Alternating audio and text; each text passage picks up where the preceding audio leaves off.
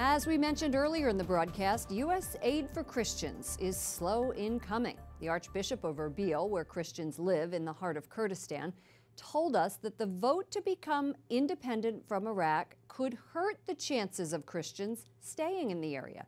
The United States State Department says it is deeply disappointed in the vote, but one member of Congress supports independence and is speaking out. Joining us now is Representative Trent Franks, a Republican from Arizona. Thank you for joining us. I'm always glad to be with you. The U.S. State Department is afraid this referendum will splinter Iraq, but you support Kurdistan's independence. Why? Well, I support uh, Kurdistan, or I support the Kurds having the, the right to self-determination. And, uh, you know, that's a sort of a, an all-American concept. Uh, we, we certainly uh, wouldn't be America if it weren't for the notion that uh, uh, people that have demonstrated their commitment to, to humanity and to each other and to rule of law uh, should have a chance to, to be uh, at least uh, determined in their own uh, capability for their station in life and in, in, the, in the world.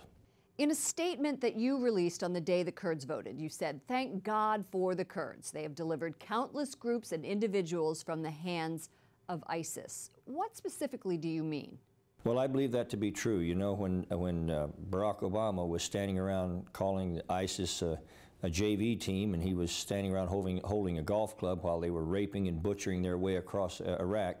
The Kurds stood very nobly and valiantly against ISIS, against the Islamic State, and they protected Christians, Yazidis, and they, they were really the ones that were willing to put themselves at great sacrifice to be able to, to protect people that really weren't of their own uh, national origin or try, they were just doing it out of, I think, a cause uh, for humanity. And that's a, a really, I think, noble character of any, any people.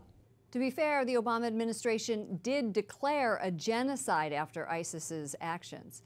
You're encouraging the Kurds to continue to protect Christians in the Nineveh plain.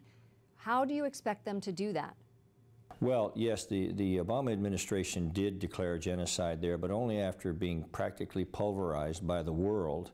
Uh, this was something that was so uh, clear, and at one point the Obama administration didn't want to even include Christians in that uh, delineation of, uh, of genocide. In April, I was on the front lines with the Peshmerga, the military forces of Kurdistan, and I know that you have previously proposed an amendment to the defense authorization bill to directly arm those Kurds. Will doing that help us win the fight against ISIS? I think it's important now that the Kurds have shown the world their commitment to, to freedom in the, in the region and that they've been willing to defend Christians and Yazidis on the ground. Uh, that they be very careful at this point now to police any of the areas of, of human rights violations within their own ranks so that they maintain their, their image in the world that is so, so positive right now. And uh, I also think it's important that uh, when it comes to the, the Nineveh Plain, uh, some of the Christian groups there, whether it be the Chaldean or the Syriac or, or the, uh, the Assyrians, uh, need to have the ability to defend themselves uh, and that, that the Christian defensive forces there are capable in their own right to defend themselves because right now uh, they are in great danger of being driven out of Iraq and a place where they've been there for thousands of years. Congressman Trent Franks of Arizona, thank you for joining us. Thank you so much.